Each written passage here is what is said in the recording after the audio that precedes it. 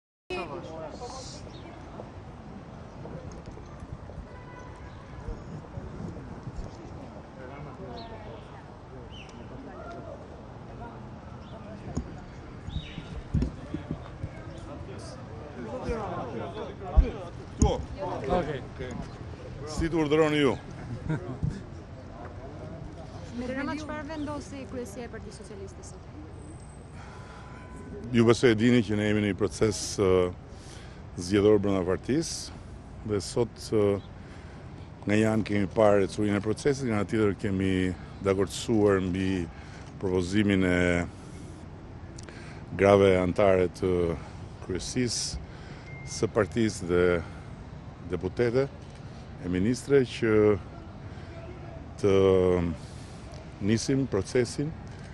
e përfshirjes së grave dhe të vajzave si bashkëkryetare të organizatave socialiste.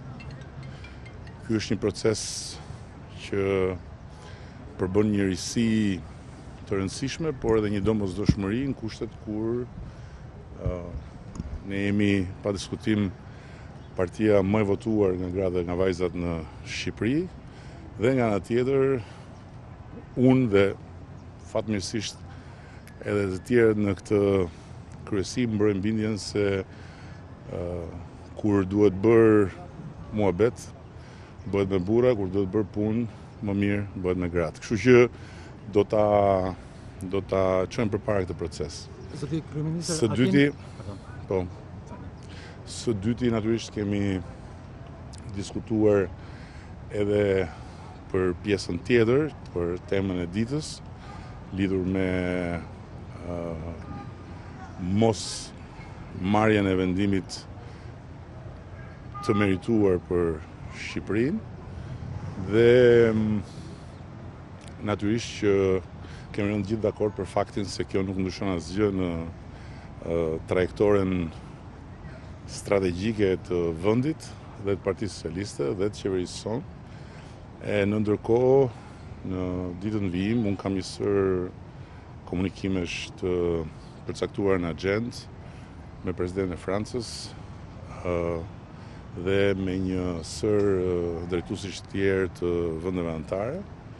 për të kuptuar ecurinë e mëtejshme të procesit. Nga ana tjetër, pa diskutim që në aspektin praktik, Ne jemi të qartë, duhet të vazhdojmë çdo ditë punën, sepse edhe nëse do të kishim marrë një po të shumëpritur dhe të merituar disa ditë më parë, detyrat janë po ato që janë edhe pa atë po, pra të ecim përpara me reformën zgjedhore dhe brenda vitit të ngjisim shkallën e parë, pra të miratojmë në parlament të gjitha rekomandimet e OSBE-ODIHR-it si pjesë e ligjit zgjedhor. Të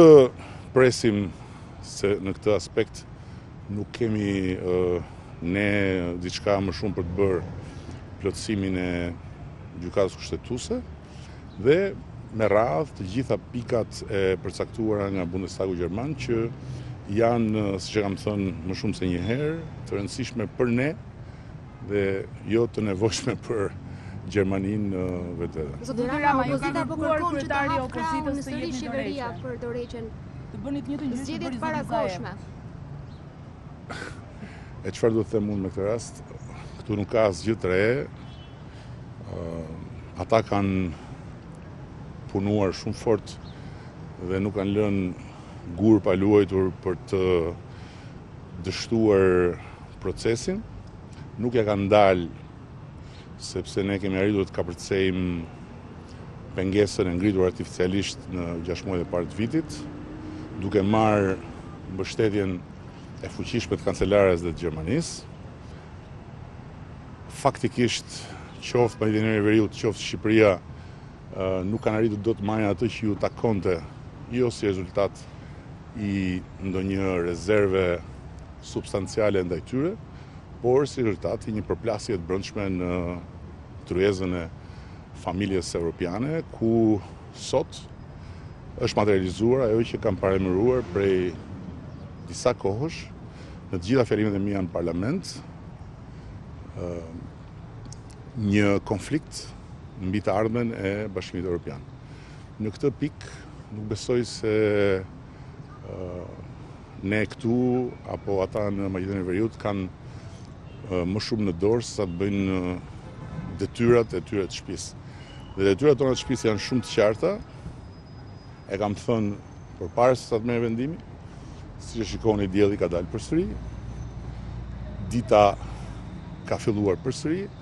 dhe rruga jonë vazhdon pa asnjë lëkundje dhe pa asnjë ekuivok. Ne duam të bëjmë Shqipërinë Europiane për shqiptarët, për fëmijët tanë dhe këtë do të bëjmë çdo ditë. Reformën zgjedhore do ta bëni me partinë demokratike apo pa partinë demokratike? Reformën zgjedhore do ta bëjmë me të gjithë ata që duan të marrin pjesë në proces dhe do ta votojmë sikundër përcaktohet edhe në pikën përkatëse të Parlamentit gjerman në parlament dhe në parlament në dijeninë time ka një opozitë e cila është e përfshirë në Komisionin e Reformës Zgjedhore ku ka dhe një karrige bosh për miqtë tanë të opozitës jashtë parlamentare dhe është në drejtën e tyre të ulen apo të mos ulen në atë karrike. Por ne nuk do presim dhe brenda këtij viti do të miratojmë reformën zgjedhore sipas rekomandimeve të OSBE. Do ta bindni opozitën brenda parlamentit. Ka ngul për ndryshim të sistemit zgjedhor. Ne do të vazhdojmë procesin dhe me ata që do të binden, do të votojmë reformën zgjedhore.